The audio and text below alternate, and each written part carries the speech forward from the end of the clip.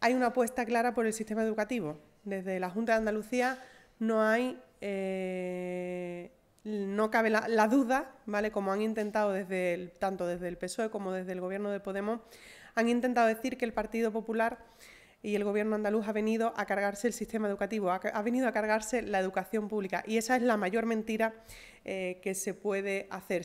Esas son mm, reclamaciones que tenían los sectores. Y eso es lo que ponemos en marcha.